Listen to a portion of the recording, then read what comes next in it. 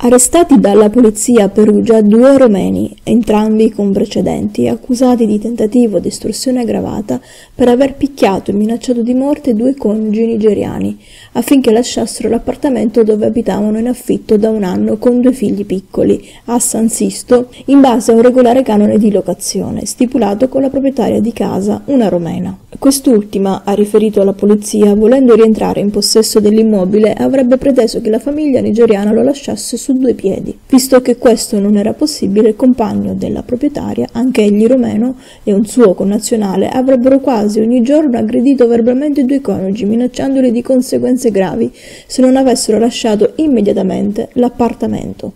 Ieri la donna nigeriana è stata anche percorsa e spintonata dai due romeni.